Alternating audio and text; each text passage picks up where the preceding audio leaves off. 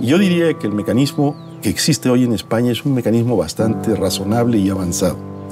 Eh, eh, comparado con muchos otros países, no hay el tipo de inserción ni en la sanidad, ni en la educación, ni en las oportunidades laborales para los solicitantes de asilo.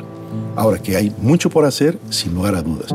Teniendo mi referencia de haber llegado aquí con 10 años, no acompañado por mis padres, me podría haber pasado de todo.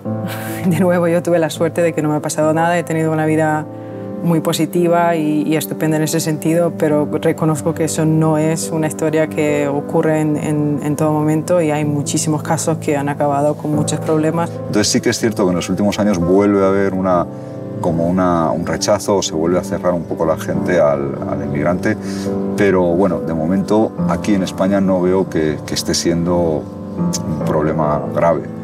Eh, pero sí, empieza, sí empiezan a escucharse cosas preocupantes, ¿no? que, que, por otro lado son mentira, directamente. Faltaba trabajo.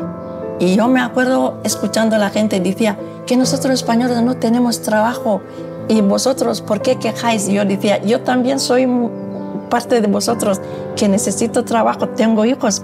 Pues la gente si quiere aprovechar siempre, pues miran hacia a los inmigrantes que hacen mala cosa y hace ya un conjunto de que inmigrantes entran por España, pues son malos, o hay que echar fuera.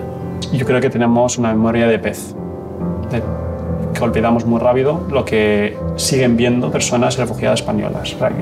Nuestros abuelos ya han pasado por eso y todavía nos lo cuentan. Por un lado, sí que ha habido una, una progresiva eh, pues familiarización ¿no? con, la, con, con la situación de, del del que viene de fuera y hay una acogida, eh, no sé si hay una acogida mucho mayor, pero sí desde luego la gente ya se ha acostumbrado y hay, en general, yo creo que España es un país bastante acogedor y bastante, eh, la sociedad es bastante abierta y, y con buena disposición para el que viene de fuera.